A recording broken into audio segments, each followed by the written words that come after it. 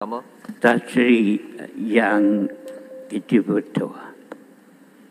Saya ucapkan setinggi-tinggi perhargaan kepada Timbalan Menteri yang telah menjawab soalan tadi dengan fakta-fakta yang tersendiri. Tetapi saya ingin bertanya lagi.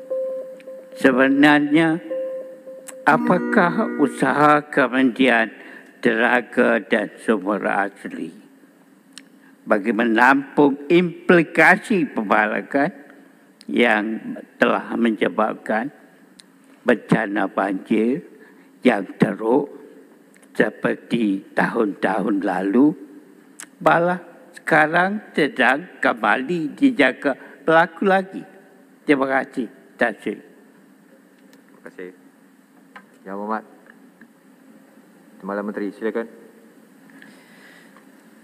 Uh, untuk pengetahuan uh, yang berhormat, JPSM Negeri Pahang telah membuat lapangan, membuat semakan lapangan dan udara di beberapa lokasi yang dikaitkan dengan aktiviti pembelakan yang menyebabkan banjir di Pahang iaitu di Jalan Bentung, Karak, Berampiran Stesen, Timbang, Jabatan Pengangkutan Jalan Karak dan Jambatan Seri Telemung.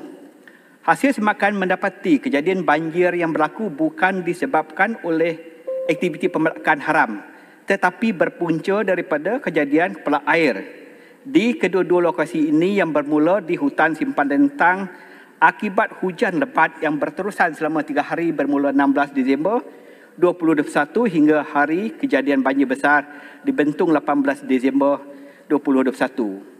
Kejadian hujan lebat ini menyebabkan tanah di kawasan tinggi menyebabkan tepuk air dan seterusnya menyebabkan struktur tanah menjadi lemah sehingga berlakunya tanah runtuh terutamanya di kawasan hulu lembangan yang bercerun.